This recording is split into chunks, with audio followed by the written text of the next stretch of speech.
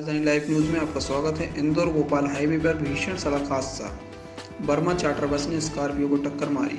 हादसे में झाबुआ के जिला परियोजना अधिकारी रणजीत सिंह की दर्दनाक मौत, एक अन्य घायल। आज सुबह सुबह सोनकच्छ के नज़दीक पुष्पगिरी के पास तेज रफ्तार से आ रही बर्मा बस ने स्कॉर्पियो को टक्कर मार दी। हादसा इतना भीषण था कि स्कॉर्पियो के परखच्चे उड़ गए।